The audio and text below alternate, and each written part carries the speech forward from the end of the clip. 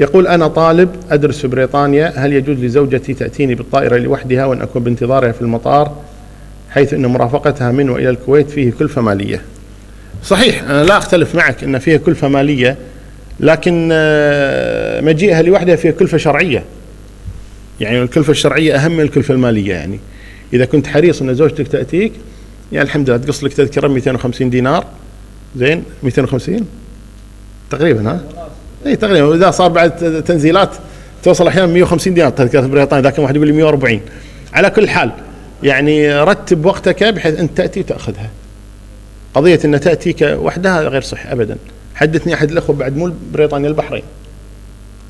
يعني اخته تدرس في البحرين. وتأتي الكويت بين فترة وفترة. ذاك اليوم من البحرين إلى الكويت حاشم عج. اضطروا أن ينزلون في الدمام. ما قدروا يواصلون الرحله إلى الكويت. نفس الشيء إلى لندن. جاهم ظرف أو كذا نزلت بالأردن نزلت في اليونان نزلت مدري بهولندا مو بالضرورة. إن قضية إنك تستقبلها ليس بالضرورة إنك تستقبلها. افرض انت أنت ما استقبلتها صار لك حادث شيء إن شاء الله بعيد لكن سبحان الله واحد صار له حادث وما قدر يستقبل زوجته.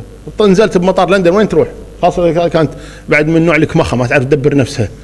زين؟ وين تروح؟ زين؟ وبعد إنجليزي ما ماكو إنجليزي صراحة يعني وين تدبر نفسها يعني؟ صار لك حادث غصبا عليك. إحنا ما نقول نسيت لا أقول ما راح أنسى مثلا والله آه، ما راح انشغل لأن هذا أهم شغل عندي. صار حادث. هي نزلت ببلد ثاني. يعني قضية بالطيارة صار لها شيء. يعني قضية إن الإنسان يقول أستقبلها وتستقبلني هذا الكلام غير صحيح ابدا.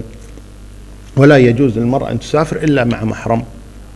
لا يجوز أن تسافر إلا مع محرم سواء استقبلها أو لم يستقبلها زوجها في المطار الأمر سيان في هذا.